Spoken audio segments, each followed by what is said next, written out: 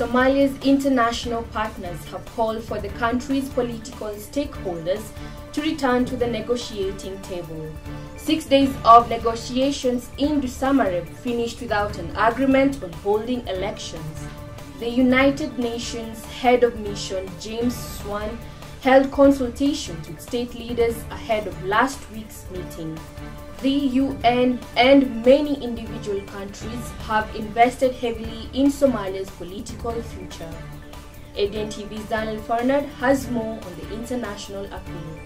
The statement declares that the partners believe that a consensus can still be achieved, but it doesn't offer any suggestions for how specific issues could be resolved. 23 nations and five multinational organizations signed on to the document. It is posted on the United Nations Mission website and circulated on social media. Djibouti, Kenya, and the United Arab Emirates were conspicuously missing from the signers.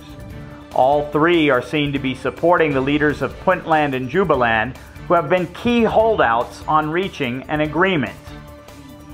The open letter does appear to praise President Mohamed Farmajo, not naming him but calling him the president it recognizes his address to the legislature Saturday, saying it has noted in particular his stated willingness to continue discussions between the federal government of Somalia and the federal member states aimed at identifying an agreed way forward for the holding of elections.